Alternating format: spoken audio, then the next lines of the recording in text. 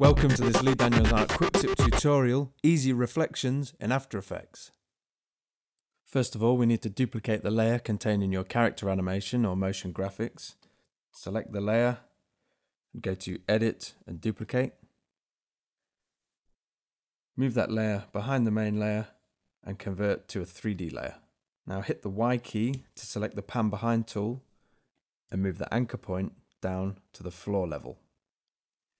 Hit the R key to bring up the rotation controls and in the X rotation type in 180. Press T to bring up the opacity controls and move that down to about 50.